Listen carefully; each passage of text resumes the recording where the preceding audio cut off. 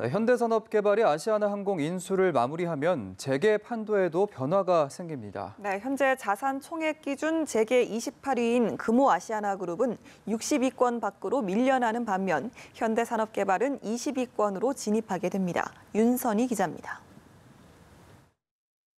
현대산업개발이 아시아나항공을 최종 인수하게 되면 HDC 그룹은 재계 순위 33위에서 17위로 껑충 뛰어오르게 됩니다.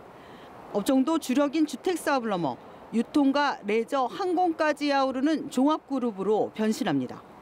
HDC 그룹은 2006년 영창학기를 인수한 데 이어 2015년 호텔 신라와 손잡고 면세점 시장에도 진출했습니다. 지난해엔 부동산 114, 올해 8월에는 오쿠밸리를 인수해 HDC 리조트를 출범시켰습니다.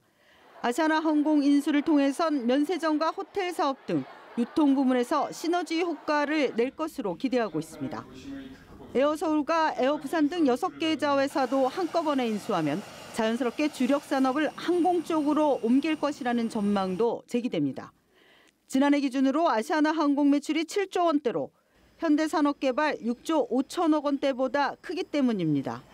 HDC 그룹이 1조 6천억 원대의 현금성 자산을 보유하고 있어 무리한 인수로 나중에 부실에 빠지는 승자의 저주 가능성은 낮다는 평가가 나옵니다.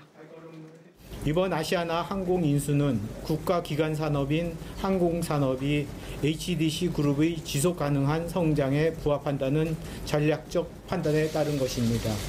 HDC 그룹은 항공 산업뿐만이 아니라 나아가 모빌리티 그룹으로서 한 걸음 도약하는 계기가 될 것입니다.